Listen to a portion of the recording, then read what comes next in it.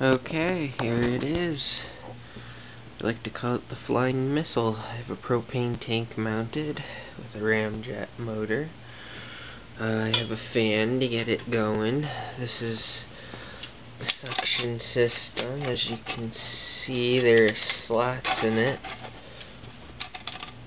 where the air actually goes in and comes back out with unburnt fuel, which keeps the direction going.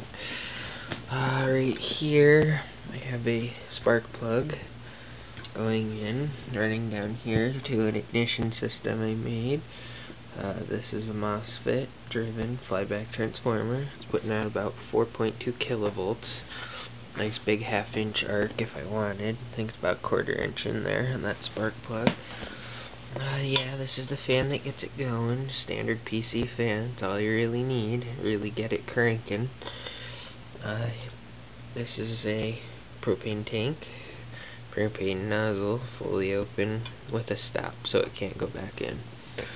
I have control lines. I haven't soldered up the board for this yet, but this will control everything in steps and series.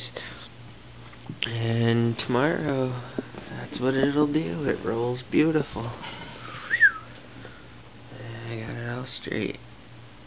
So, wish me luck.